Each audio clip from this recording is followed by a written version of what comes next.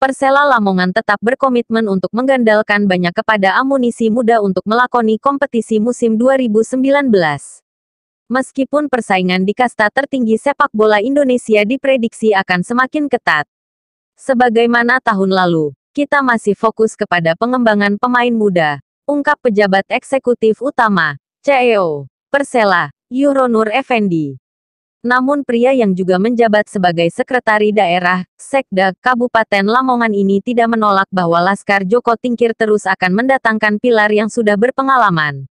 Nanti satu-dua kita tetap merekrut pemain yang sudah malang melintang. Tapi yang kita utamakan pemain muda, ia menambahkan. Lebih lanjut ucap Yuronur, meski banyak menaruh kepercayaan kepada punggawa muda dirinya tidak takut. Bahkan hasil laga di Piala Indonesia juga tidak menyebabkan keterikatan tim kebanggaan kota Soto.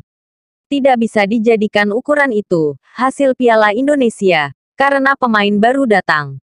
Tenang aja, tegasnya. Terlebih pada musim sebelumnya, Laskar Joko Tingkir cukup sukses meskipun mengandalkan pilar muda. Tapi Yuronur tidak menolak bahwa keadaan itu akan menguji ketajaman juru racik dalam mengatur susunan terbaik. Ini tantangan kecanggihan pelatih. Tapi dari kemarin-kemarin kita sudah berhasil, tandasnya.